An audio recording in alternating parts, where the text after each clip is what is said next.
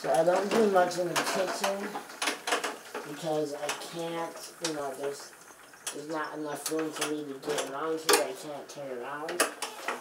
Um, I can't reach the sink. It's way too high for me. So that's not very accessible. And the stove, you know, it's right here, but I can't really get to it. Um, you know, there's just not enough room in here.